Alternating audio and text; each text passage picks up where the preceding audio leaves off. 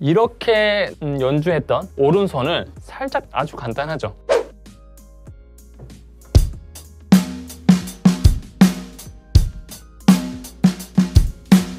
대충 이런 걸 16비트 엇박 스네어 드럼 리듬이라고 하죠. 이 리듬을 연주를 하는데 자꾸 왼손이 부딪혀요 라고 댓글을 남겨주셨거든요. 그러니까 예를 들어서 이런 거죠.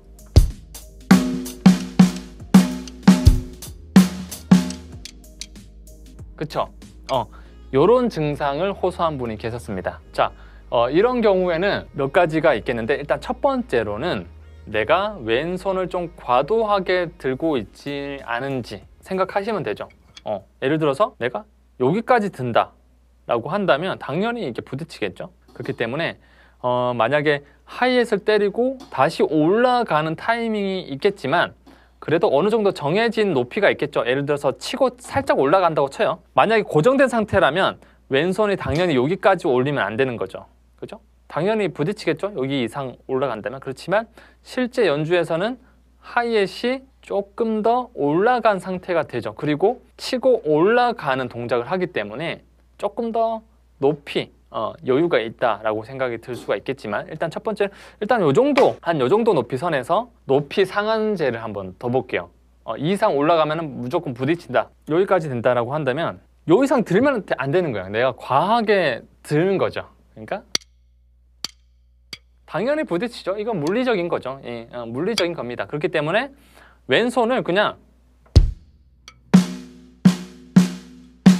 이 이상 들지 않는 게 첫 번째 해결점이 될 수 있겠죠. 꼭 이렇게 하라는 말은 아닙니다. 어쨌든 연습하실 때 그냥 적당한 높이로 한번 들어보시라.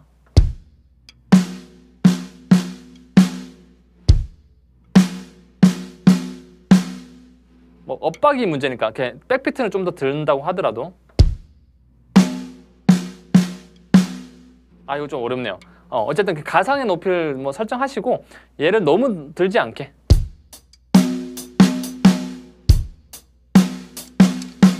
이런 식으로 너무 높게 들면 당연히 부딪히겠죠. 그래서 이런 경우는 이렇게 하면 절대로 안 부딪힙니다. 뭐냐면 이 왼손 엇박을 ghost note로 때리면 절대로 부딪히 안, 부딪히지 않겠죠. ghost note가 뭐냐?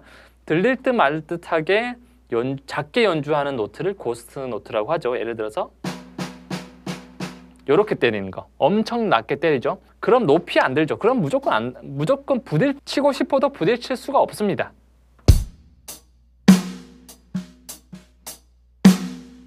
백비트는 고스트로 하면 안 되니까 세게 때리고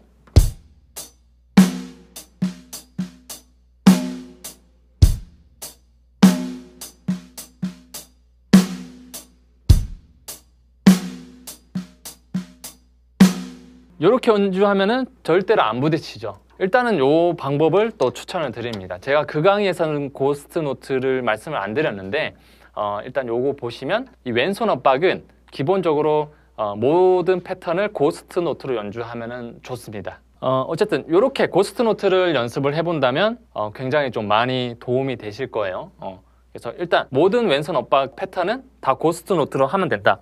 예를 들어서 어, 뭐 리듬 트레이닝 시스템 19페이지 이 볼륨이 19페이지 참고하셔가지고 다 보셔도 되는데 어, 예를 들어서 이렇게 다 넣어볼게요.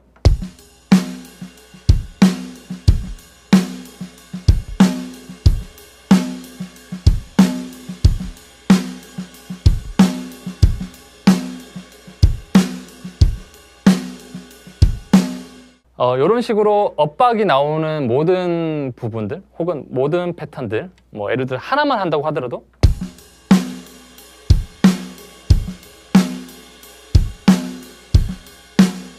어떤 패턴이든지 간에 어, 이런 식으로 ghost로 하면 굉장히 도움이 되고 16비트 엇박을 이런 식으로 연습을 하면은 부딪힐 일이 없다라는 게 첫 번째. 너무 높게 들지 않게 하는 게 첫 번째인데 이 엇박이라고 하더라도 조금 더 높게 그러니까 ghost뿐만 아니라 조금 normal한 혹은 더 악센트로 연주하는 경우도 있죠. 예를 들어서 이런 레벨로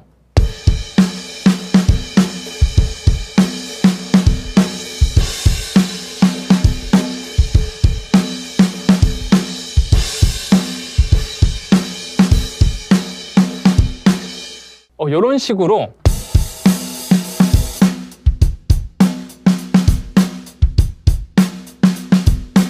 뭐 이런 식으로 표현하는 어, 느낌도 있죠. 고스트가 아니더라도 어, 락이라든가 좀 강하게 할 때는 또 이런 식으로 하기 때문에 그럴 땐 높이 들어야 되죠. 어. 아까 전에 말씀드린 것보다 좀 더 높게 들 필요도 있습니다. 자 그러면 어떻게 하느냐 라고 한다면 일단은 기본적으로 그 다음은 어, 뭐 연습하다 보니 자연스러운 건데 물어보시니까 설명드리는 거예요. 그러니까 이거를 타이밍에 잘 맞게 어, 잘 맞게 뭐랄까 어, 비껴주는 거죠. 타이밍에 맞게. 그러니까 얘가 내려오는데 늦게 올라가면 안 되고 얘가 얘가 올라가기도 전에 빨리 얘가 들어주면 안 되겠죠. 그러니까 이게 적당한 타이밍이 있거든요. 그냥 요거는 연습하다 보면 자연스럽게 아는 거긴 하지만 일단 기본적으로는 요 타이밍을 잘 지켜줘야 된다.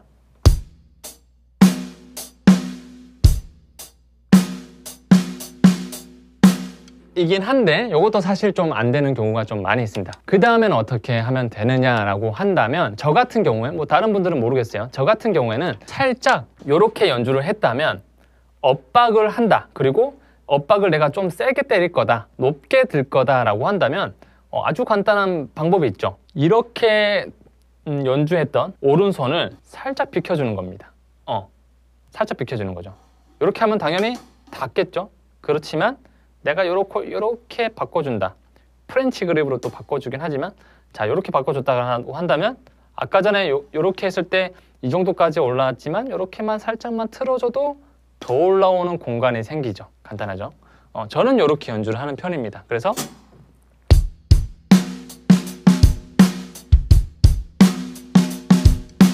약간 이런 식으로 하면은 사실 어, 하이햇 같은 경우도 뭐 같기 때문에 이렇게 틀어준다고 해도 소리가 뭐 크게 바뀌지 않거든요. 물론 똑같이 내주는 게 중요하긴 하지만 어, 크게 바뀌지 않는 선에서 이렇게 틀어주고 또 하나 만약에 왼손이 뒤로 빠져 있다 그러면 얘가 더 걸리기 쉽, 쉽거든요.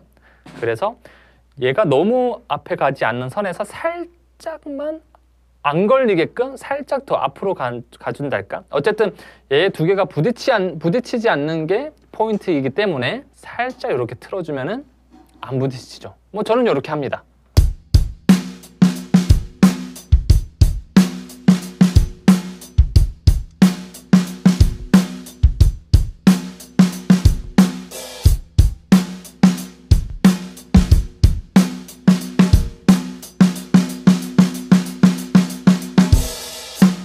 이거는 제가 뭐 생각을 하고 한 거는 아니기 때문에 지금 하면서 또 느낀 건데 살짝 어 약간 얘도 살짝 내려가는 손목 자체도 그냥 뭐 자신 있게 든, 들었다면 요거 엇박할 때만 안 부딪히는 게 목표, 목표니까 살짝 이렇게 내려가는 살짝 내리고 얘도 좀 틀어주면서 어 치는 거죠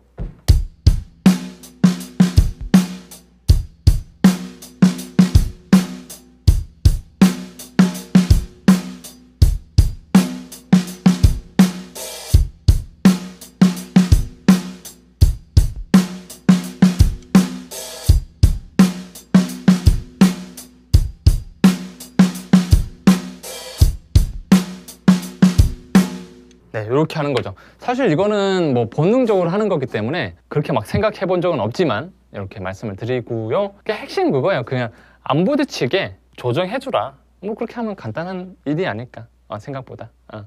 그리고 이렇게 바꾸면서도 소리에는 지장이 없게끔 이렇게 좀 피해줘라. 위치를 좀 바꿔보고 좀 낮춰도 보고 타이밍도 조정해보고 약간 그렇게 그렇게 저는 하지 않았나 그런 생각이 드네요. 이건 자연스럽게 하는 거기 때문에 그래서 약간 좀 여담이지만 뭐 유명한 일화인지 모르겠어요. 이렇게 굉장히 좀 한국 드럼계의 대부이신 한 분이 계시는데 약간 이런 질문을 받았다고 하시네요. 선생님 이렇게 스틱을 모았는데 아 한쪽 스틱이 반대쪽 스틱을 쳐요. 때려요 선생님. 어떻게 해야 되나요? 라고 했을 때 그 선생님께서 무슨 말씀을 하셨냐? 자, 약간 좀 비속어를 좀 섞어서 이 말씀을 하셨다고 들었지만 저는 방송이니까. 야 그러면 부딪히면 벌려! 비속어를 안 섞으니까 재미는 없지만 그런 말씀을 하셨다고 합니다. 자 그래서 아주 간단하죠. 좀 길게 설명을 드렸는데 간단한 겁니다. 자 이렇게 부딪힌다 라고 하면, 하면은 떼면 되는 거고 이게 부딪힌다 그러면 살짝 피해주면 되는 게 아닌가. 그렇게 아주 간단한 해결 방법도 말씀을 드렸습니다. 아 그리고 또 한 가지 가끔씩 쓰는 거긴 한데 특히나 rock 드러머라든가 약간 pop펑크 드러머 펑크인지 펑크인지 모르겠지만 약간 좀 rocking한 펑크 있죠. 그런 음악 하시는 분들이 또 많이 하는 게 저도 가끔 그렇게 합니다만 너무 올리진 않는데 이렇게 올리는 거의 끝까지 엄청 올리는 분들이 계시죠. 예를 들어서 이 트래비스 바커라는 드러머 아주 유명한 드러머가 있습니다. 그분은 이렇게 올려서 연주를 하시죠. 그러면 진짜 이런 것들이 좀 파워풀하면서도 부딪히지 않고 연주를 할 수 있는 거죠.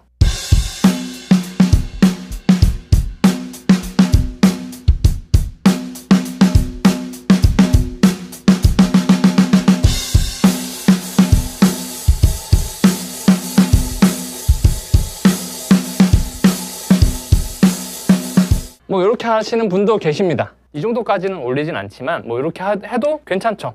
그래서 이게 또 하이햇이 또 너무 낮다 그러면 또 더 부딪히기가 쉽겠죠. 그래서 본인의 스타일을 방해하지 않는 선에서 조금 올리는 것도 방법이 될 수도 있겠다라는 생각이 들고 그리고 아, 스틱을 이렇게 안쪽으로 하는 방법도 있고 살짝 그러니까 방금 말씀드린 뭐 트레스 비스 바커나 그런 분들도 좀 간혹 하시는 거는 바깥쪽으로 하기도 합니다 부딪힐 때 그리고 얘를 좀 높게 들어야 되겠다라고 한다면 이렇게 하는 방법도 있겠죠